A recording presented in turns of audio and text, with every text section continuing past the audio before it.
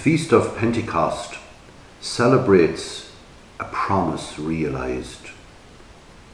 And the promise that's realized is the promise that Jesus made before ascending to the Father that he would send the Holy Spirit and that the outpouring of the Holy Spirit would remain constantly present in his church, filling the members of the church with various gifts so that they would be able to continue the work of Jesus and the mission of Jesus, which was to become the mission of the church.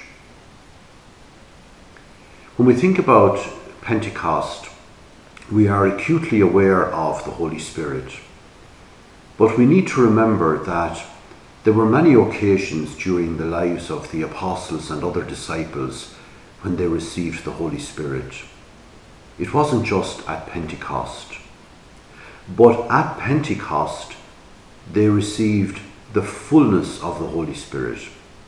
In other words, they received a variety of gifts as the Spirit chose to share those gifts. And those gifts then they were able to use as they became transformed into witnesses of Christ and the gospel. And those gifts of the Holy Spirit were to be used by them as they moved around preaching the good news, the message that Jesus is the Saviour of the world. In terms of our sacramental experience, the sacrament that corresponds to Pentecost is the sacrament of confirmation. We have learned that when we celebrate the sacrament of confirmation, we are blessed in abundance with the fullness of the Holy Spirit. We receive the gifts of the Holy Spirit. And those gifts then enable us to become transformed into the likeness of Jesus.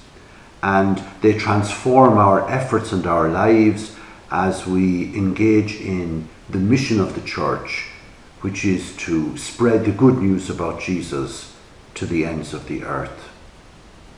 Therefore, we can say that the sacrament of confirmation for us is our personal Pentecost event. In the same way that we can say that the sacrament of baptism is our personal Easter event. And just as Easter and Pentecost are inextricably linked in the Gospels and in the life and ministry of Jesus, so too baptism and confirmation are inextricably linked in our lives. In celebrating the feast of Pentecost, then, we celebrate the fact that a promise made by Jesus has been realized.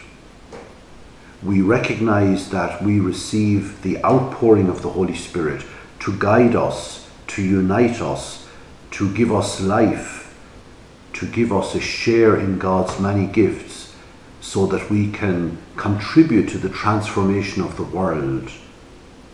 And we give thanks for that Spirit and we give thanks for all of the opportunities that God gives us through the Holy Spirit, who comes down on us in abundance at Pentecost.